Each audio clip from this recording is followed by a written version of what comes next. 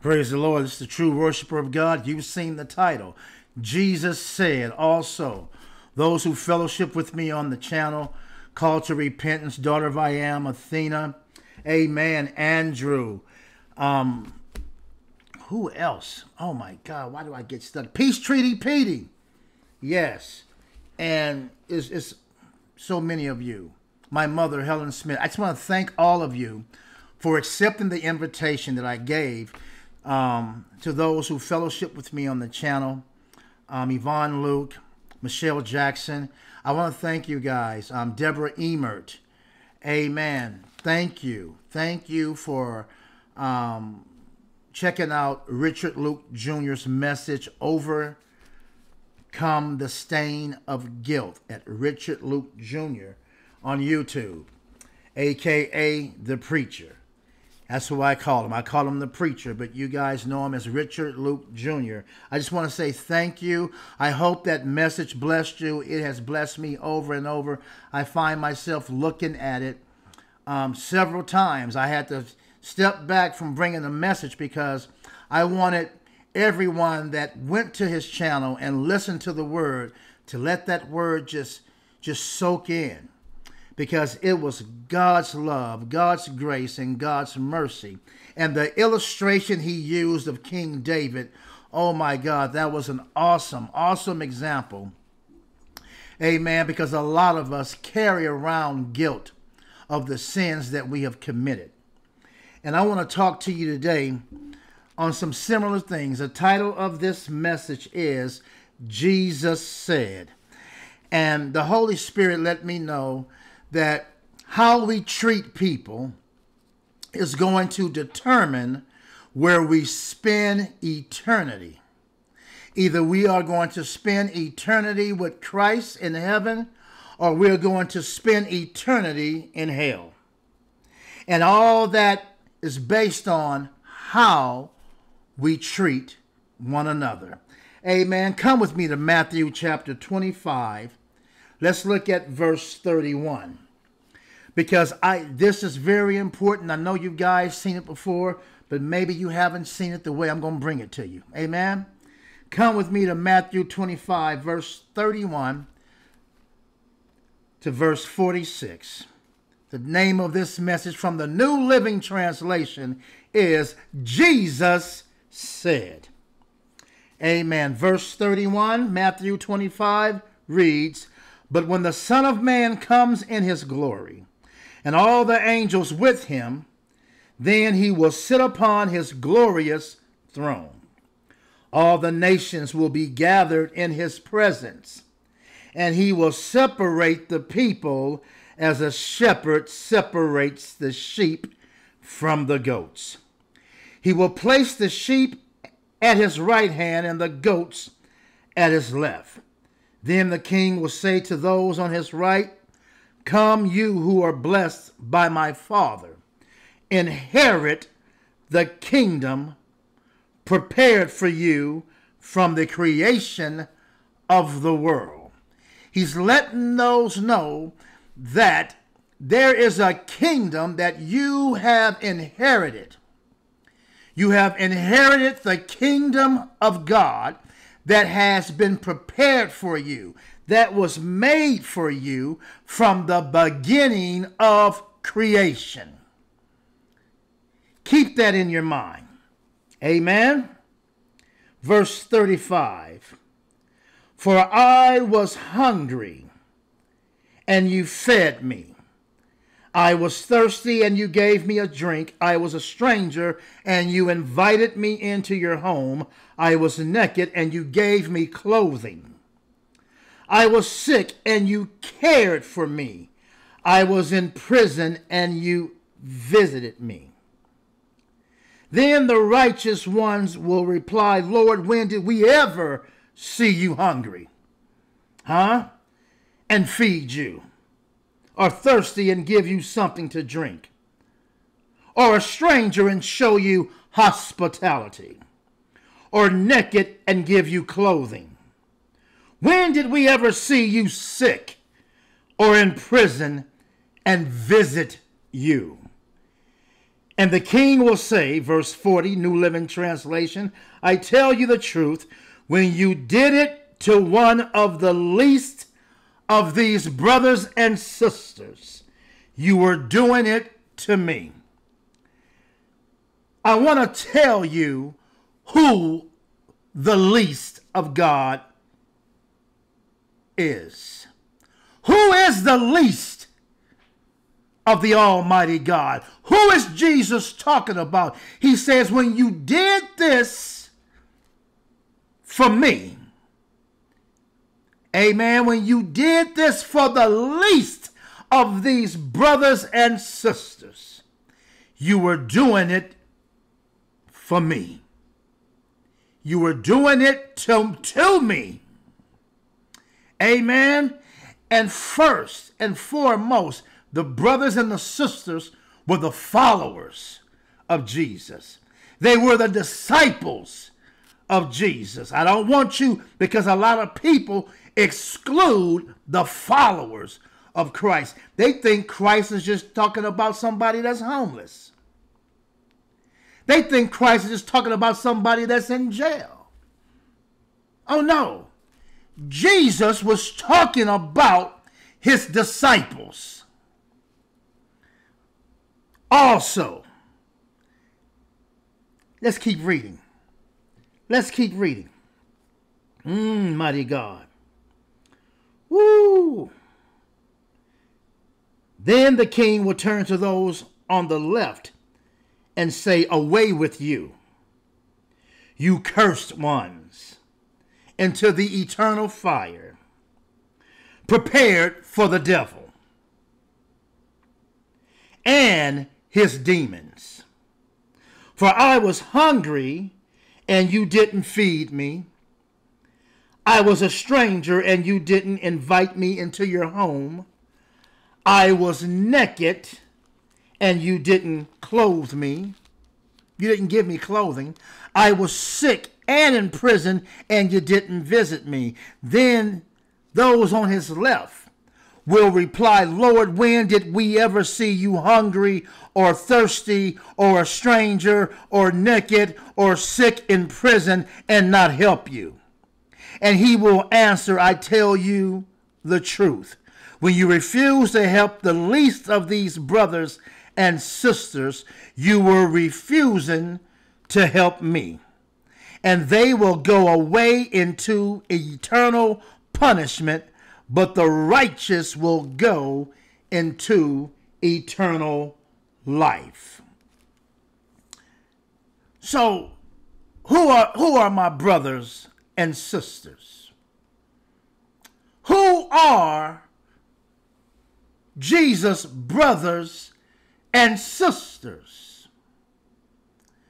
One day, Jesus was healing a sick girl.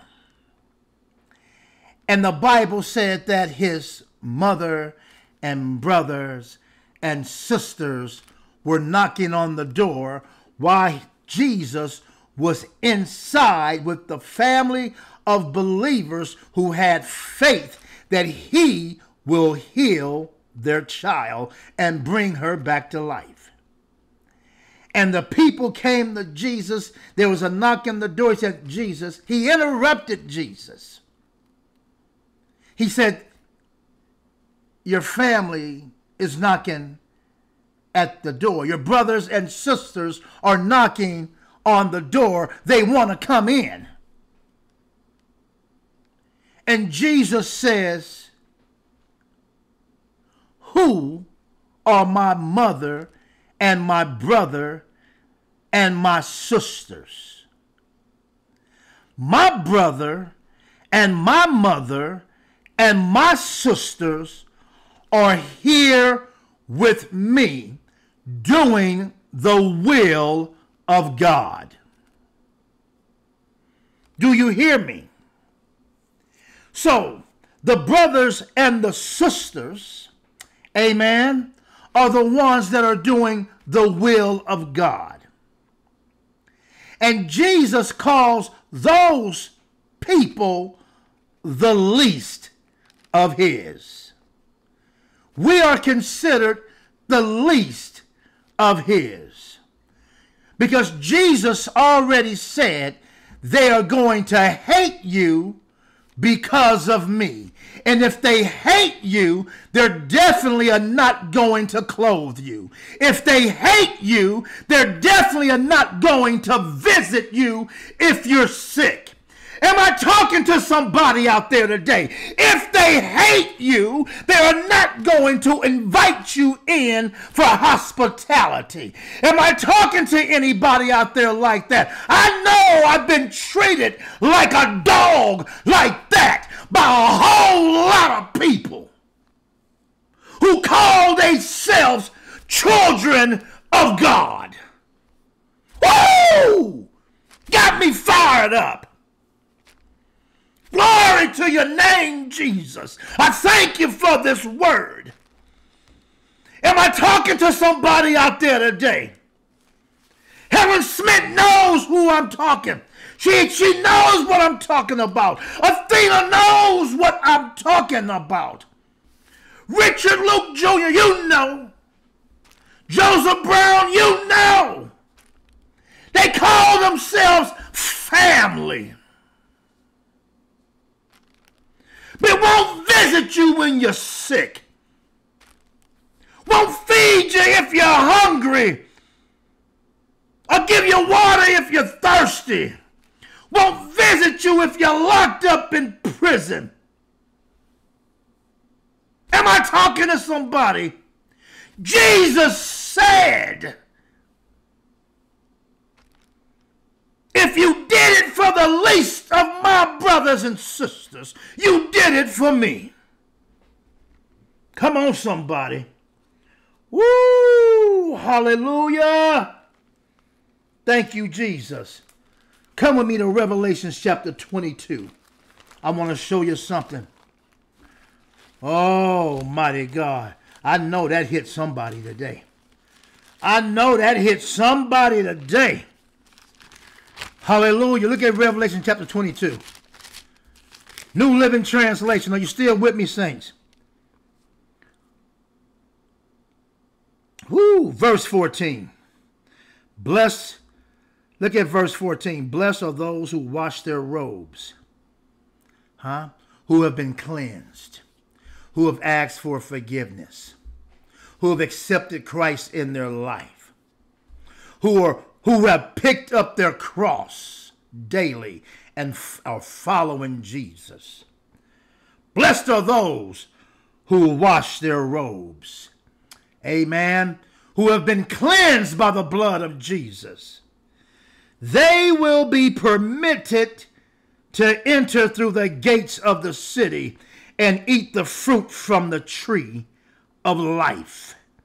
Verse 15 outside the city are the dogs, the sorcerers, the sexual immoral, the murderers, the idol worshippers, and all who love to live a lie on the outside.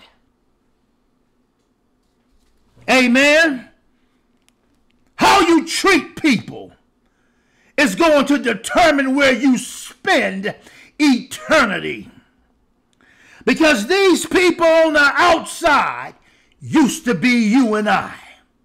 So, how did we come from the outside to in the inside? Jesus is going to tell you how that was done. Woo! Verse 16 I, Jesus, have sent my angel to give you this message for the churches. I am both, both the source of David and the heir to his throne. I am the bright and morning star. I'm going to tell you how we, who used to be dogs, went from the outside to the inside and able to enter the gates of heaven. But how come these are still on the outside? Jesus said, because when I was hungry, they didn't feed me. And when they wouldn't feed you, They was refusing Jesus.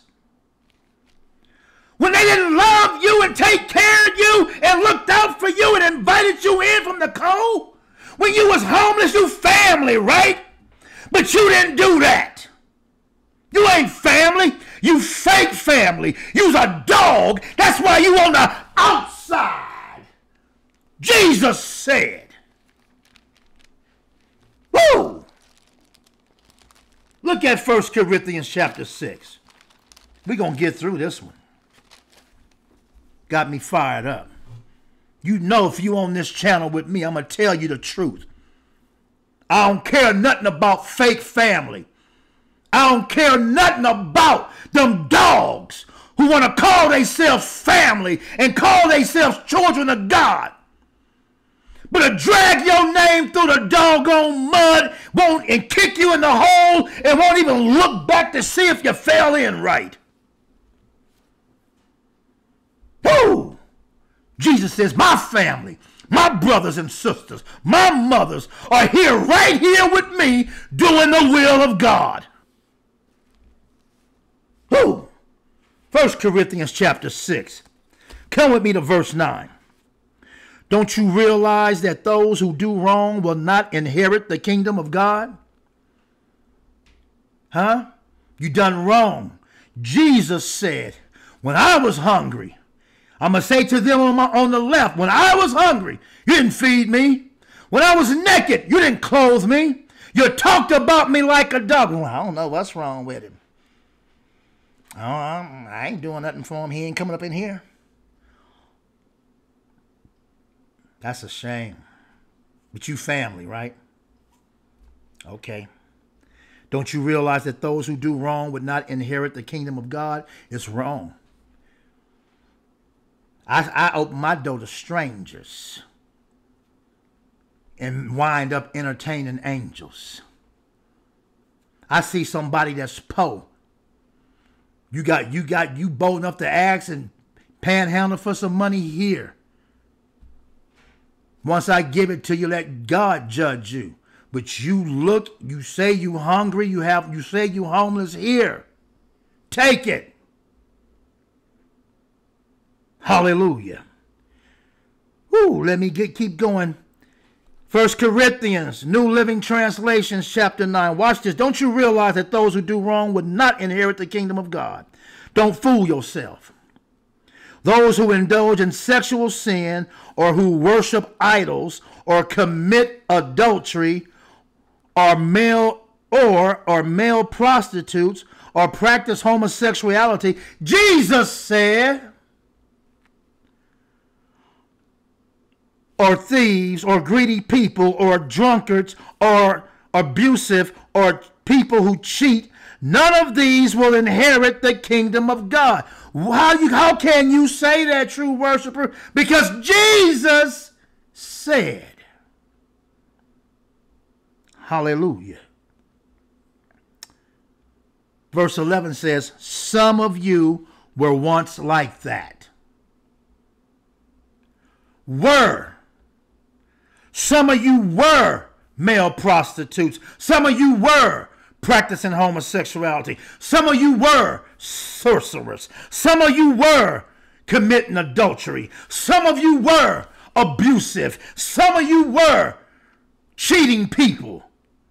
Mmm. Some of you were greedy. Some of you were drunkards. Jesus said, Some of you were. Some of you once were like this. I told you, I'm going to tell you how you got from the outside when you was a dog and all of that. And you now you in the inside. Well, how come we still got some on the outside? I'm going to tell you what they did not do. But Jesus says, some of you, right here on this channel, including the true worshiper himself,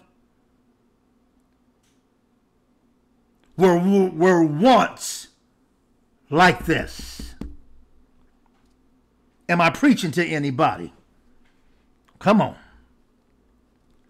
But you were cleansed. You were made holy. You were made right with God by calling on the name of the Lord Jesus Christ and by the Spirit of our God. That's how you got from the outside with the dogs to the inside to the gates. You called on the name of the Lord. Oh! Hallelujah. Thank you, Jesus. Thank you, Jesus. Come with me to Galatians chapter 5. Look at verse 19. When you follow the desires of your sinful nature, the results are very clear sexual immorality, impurity, lustful pleasures, idolatry, sorcery, hostility, quarreling, jealousy, outbursts of anger, selfish ambition, dissension, division, woo, envy, drunkenness, wild parties, and other sins like these. Let me tell you again, as I have before, that anyone living that sort of life will not inherit the kingdom of God. And those who are not inheriting the kingdom of God are on the outside with the dogs, says the Lord. Ah! Uh, woo! Glory to your name, Jesus. Glory to your name. Come with me to Ephesians chapter 5. Look at the fifth verse. Fifth verse and fifth verse only. Hallelujah. You can be sure that no immoral, impure, or greedy person will inherit the kingdom of Christ and of God. For a greedy person is an idolater, worshiping the things of this world. Are you worshiping things of this world? Richard Jr. told us, aka the preacher, he told us. We worship the blessing but we don't worship the one who blessed us. You worship the car. You get a brand new car, you're washing it every day. It must be clean. You're fixing it up, but you ain't fixing up your soul or your spirit. You're worshiping these things of the world. Mighty God. Galatians chapter 5, look at the 20, 24th verse. I got to say this to you. 24th verse. We're going to get done with this. Galatians chapter 5, verse 24. Those who belong to Christ Jesus have nailed the passions and desires of their sinful nature to his cross and crucified them there. Amen.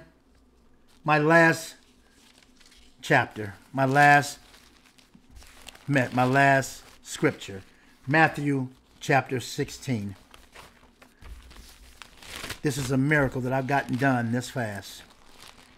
Matthew chapter 16. You guys must have been praying.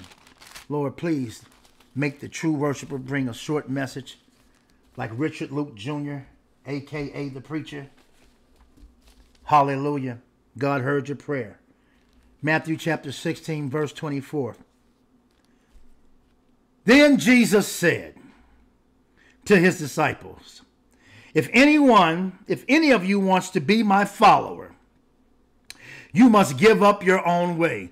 Some of your Bibles say you must deny yourself. These mean the same thing. You must give up your own way. Take up your cross and follow me. The cross meant one thing, and one thing only. The cross meant death. The most painful and humiliating means of death a human being could develop.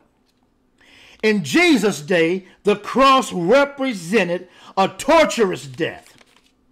The Romans forced those convicted to carry their own cross to the place of crucifixion. Years later, Christians view the cross as a cherished symbol. A symbol of atonement, forgiveness, grace, and love. I don't know why. I never looked at the hangman's noose. I never looked at the hangman's noose as love and forgiveness. I can't look at the cross as a symbol of love, but I can look at the one nailed to the cross as a symbol of love, as my Redeemer, as my salvation. But I can't look at the thing they nailed him to. I can only look at him. Do you hear me? It's okay. That's just me. Jesus told me to pick up the cross and follow him. He didn't tell me to pick up him and follow the cross. Oh, I'm going to leave that alone. Y'all not ready for that. We that's okay. Another time. But right now, Jesus told us to pick up our cross daily and follow him if we want to be his if we want to be his disciples, if we want to be his followers. I read to you in Galatians chapter 5, verse 25, verse 24. Remember? What did it say? That we nailed that sinful nature and all its passions to the cross. The sinful nature is what got you out there on the outside with the dogs. So Jesus says, if you want to follow me, you got to put to death daily, every day, Pick up your cross and follow me. Because we're going to kill this thing every day you wake up. Ooh. Hallelujah. Therefore, Jesus commands us to pick up our cross and follow him. That's called self sacrifice. Bearing a cross meant one was about to die.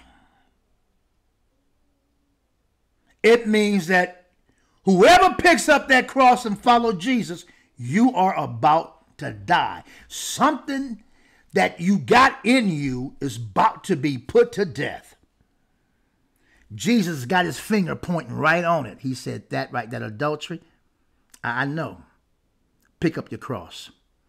Follow me today all that shoplifting you doing, all that lying you doing, all that anger and that abusiveness, you yelling and screaming at your wife, cussing her out, you yelling and screaming at your kids, you hating your children because of their religious beliefs and all that old stupid mess.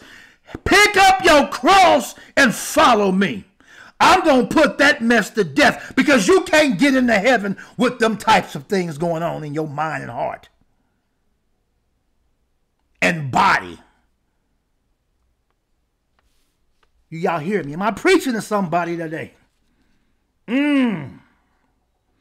And know this once you pick up that cross and follow Jesus, amen, you're going to face ridicule and disgrace along the way to put that sin to death, to put that alcohol, that drunkenness, that marijuana, them pills, that meth, that adultery, your hoish ways, male and female, your sexual immorality. Jesus already seen you naked. He already knows what you're doing. He's saying, but if you want to follow me, if you want to inherit the kingdom of heaven, I command you to pick up the cross. I picked it up, says the Lord. Now follow me.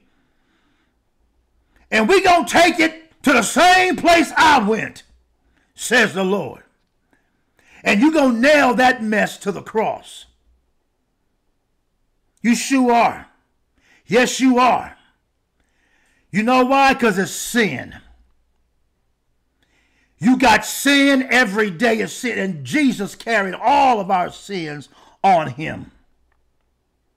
And he that's what he nailed to the cross. That's what he killed once and for all.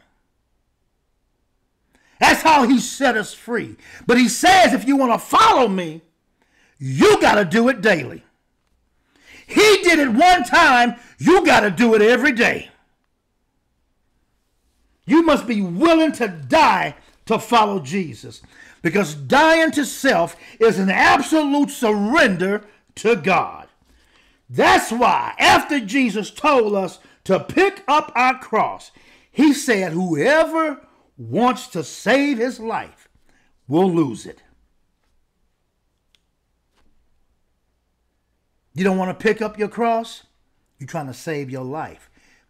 But see, see, your sinful nature has become your life, and you want to save that. You don't want to depart from it. You like your hoish ways. You like that. You like stealing. You like selling drugs and killing everybody in your community. You like that. You like the money that you're getting from that mess. You don't want to give up that. You don't want to give up that. And Jesus said, Whoever wants to save his life will lose it. But whoever loses his life for me will find it. Amen. Woo! What God, what God will be. God says, What good will it be for someone to gain the whole world?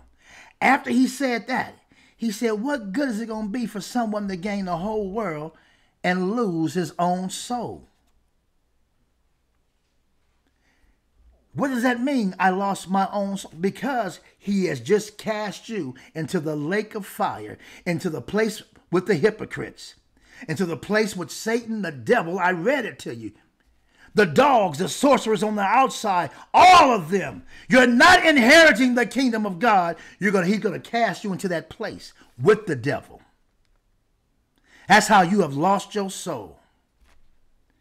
Because, hey, long as you you loving the world, the world is paying you in your recording contract, your acting, you showing all your tail, you got your skirt up high, everybody can see your business, you doing it. Oh, you are so pretty, but you have lost your soul.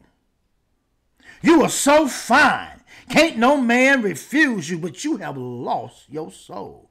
You are so rich with your swag and your pants sagging, riding around in your Maybach, your Maserati, but you have lost your soul. Mmm. Let me ask you a question. What can anyone give you in exchange for your soul? I'm glad you asked that question, true worshiper, because a lot of them, they have given them money. They have given them fame. They have given them sex. Uh huh. All of that. They have given them drugs. All the meth and crack you could smoke all the weed and blunts you could roll up, all the beautiful women you can have sex with. And he gave you that for your soul. And now you are spending eternity in hell. Let me ask you something. Are you willing to follow Jesus if it means losing your closest friend? Are you willing to deny yourself, give up your life, pick up your cross, and follow Christ daily? Are you willing to do that? If it means losing your closest friend, if it means being alienated from your family, if it means losing your reputation, losing a job, losing your life if you need be,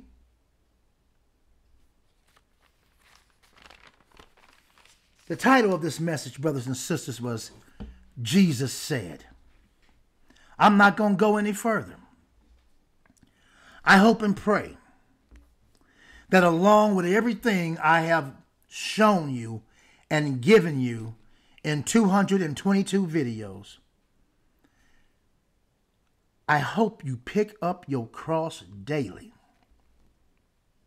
If you want to call yourself a child of God, if you have been given the right to call yourself a child of God, Jesus said, if you want to follow him, if you want to inherit the kingdom of heaven, pick up your cross and follow him. Pick up your cross daily and follow him. And let's put to death the deeds of the flesh. Hey, this is the true worshiper of God. God bless you. I love my YouTube family. I love all of you out there. Teresa S., God bless you. LG Payne, my own lane, God bless you. Matt Hall, Mel Ross, God bless you. Peace, Treaty Petey, love you. Mark the Messenger, love you. Hallelujah, God bless you. Beautiful joy. Woo! That's all I got for you, Richard Luke Jr. Ah, Kimberly Luke. Amen. The Lows, the Monroes, the Jacksons, the Jeffersons, the Bakers, the McCulloughs, the Joneses, the Nickersons, the Joneses. Hey, I love you. The Lows, the Monroes, all of you out there, you know who you are. Pick up your cross daily. Pick up your cross daily. Why? He's coming back. He's coming back. Put down the alcohol. Leave the drunkenness alone. Give that weed to the dogs who, are, who don't want to come in. Give it all away. Give it all away. Jesus is coming back soon. If you think hell ain't real, keep playing, okay? Keep playing with God. You gonna find out because the Bible says after death comes the judgment. After you die comes judgment time. Do you hear me? Hey, I love y'all true worshiper of God, listen, subscribe, thumbs up, do it for this channel, do it for Mark the Messenger, do it for those men and women out there who are giving you the word of God. Richard Luke Jr., hit that subscribe, the subscribe button, you guys. He's His brother is on fire. He's he's gonna keep giving you the true word of God. Amen. Like he told you. I, he sinned a lot. We have sinned a lot. We were outside with the dogs. How did we get in? We called on the name of the Lord and we were cleansed, and you can be cleansed too. Amen. I'll talk to you soon.